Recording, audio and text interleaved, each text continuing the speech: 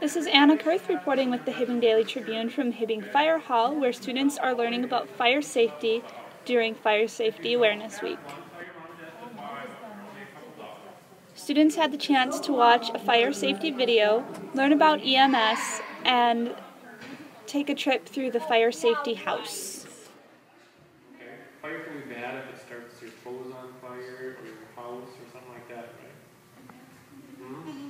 Um, what are some good things that fire does?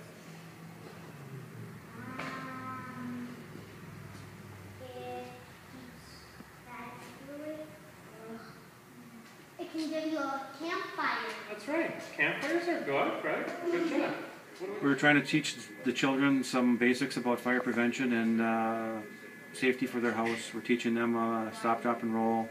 We're teaching them uh, to have an emergency plan, um, a meeting place outside their house. We're teaching them uh,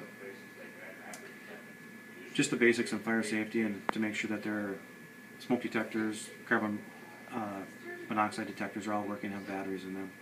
We're also teaching them uh, what firefighters look like so that they're not afraid of them when uh, we come up on scene or we're searching the house looking for them. And also some of the, we're touching a little bit on EMS and what we do on the EMS side as well. Put it this way so it'll work on you. Now, this looks scary?